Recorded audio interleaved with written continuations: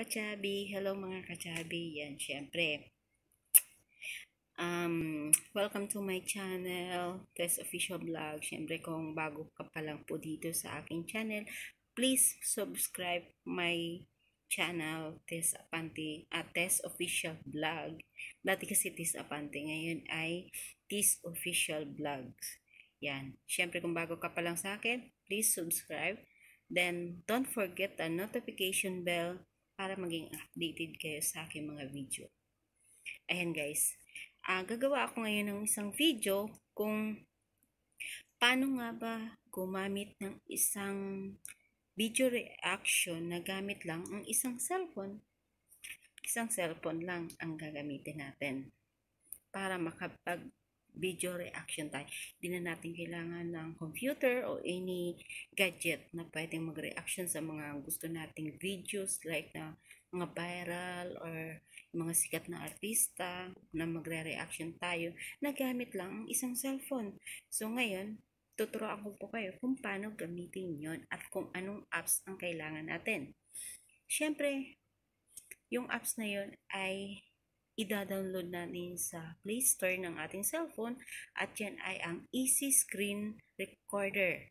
Yun po yung ano, yung apps na yun ang gagamitin natin. Easy Screen Recorder. Yun po yung gagamitin natin guys. Then syempre kung ano po yung ginagamit yung pang uh, pang-edit ng video, gumagamit kayo ng KineMaster o ano pa mang pong mga pang-edit ay pwede gamitin. So ngayon, bago tayo mag-umpisa, ha, tara, umpisa na natin bago, huwag nang bago-bago, umpisa na. Umpisahan na po natin yung sinasabi ko sa inyo. Yan.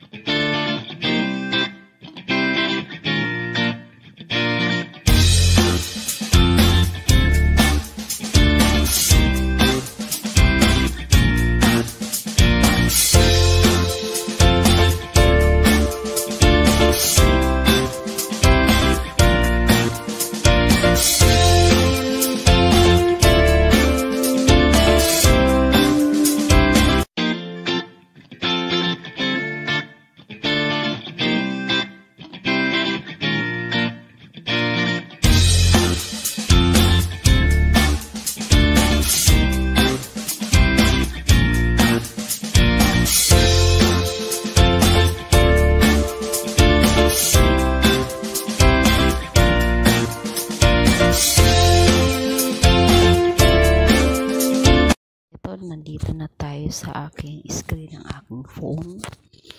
So, ito yung kailangan natin guys. Uh, ito yung kailangan natin. Ayan, nakita nyo yan. So, kailangan natin i-download at syempre ito ang gamit ko. Yung dalawa. At syempre kailangan natin ang ang ito ito sa Play Store. Kailangan natin i-download siya dyan. So, dahil nandyan na siya, na i-download ko na, so punta tayo dito. Diba, pag pinindot mo yan, ayan, lalabas dyan. Ayan. Then, back natin siya. Kung nakikita nyo, etong pulang ito sa gilid, yan yung camera. At itong sa gilid nito, yan ang screenshot. Siyempre, nandyan din yung lapis na ginagamit ko. And then, pag pinindot natin yan, yan. Diba nakikita nyo may lumabas. Dito, may box ditong makikita. Pag pinindot natin yan, meron screenshot, camera, brush. Ngayon, gagamit ako ng camera para makita nyo ako kung nasan ako. Ayan. Gamit akong camera. So, pupunta tayo sa YouTube at maghanap tayo na pwede tayong mag-reaction. Pag pinindot ko to, lalabas tayo ang mukha ko dyan. Pero dahil may video na ako dito, automatic pag na-save yun, punta ka na sa gallery. So, dito sa gallery, full ng battery ko. meron ako ditong video na pwedeng mag pwede kayong mag-reaction. Like dito. O ba? Pwede ayan pwede natin liitin naman. Dyan sa video yan ni Pipi Mira ay pwede ako mag-reaction na nakikita nyo yung mukha ko.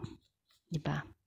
Ang dali at syempre pag meron na kayong video at gusto nyo i-edit punta kayo dito sa screen sa inyong editor. KineMaster InShot o ano pa man yan. Diyan nyo may edit yung mga videos nyo. Ayan. So, ang dali lang po guys. Ayan. So, back tayo dito. Ayan.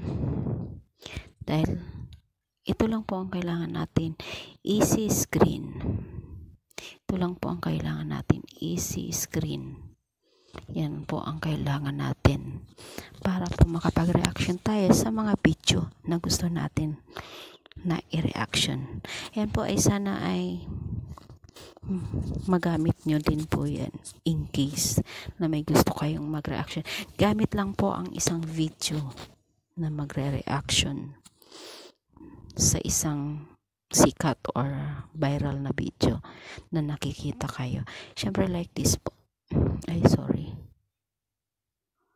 Ay delete natin. Punta tayo sa youtube. Ayan punta tayo sa youtube. Siyempre katulad nito. Kailangan siya. Oops di ba patalastas pa Nako po, inabot pa tayo ng patalastas. so, ayan guys, skip na natin. Ito katulad nito, gusto natin dyan mag, ano, mag-reaction. So, yung may hilig sa mga pelikula o teleserye, gusto natin mag-reaction. Pwede tayo dyan mag-reaction at pwede natin stop. Diba? Yan, ganun lang po yan. Then, reaction. Sabihin mo kung ano yung gusto mong sabihin sa isang video, then stop. Then stop. Di ba? Ganun lang po kadali guys. Then at syempre pag na-record mo na, natapos na, yan. Pindutin nyo yan. At then, Ayan, stop na natin.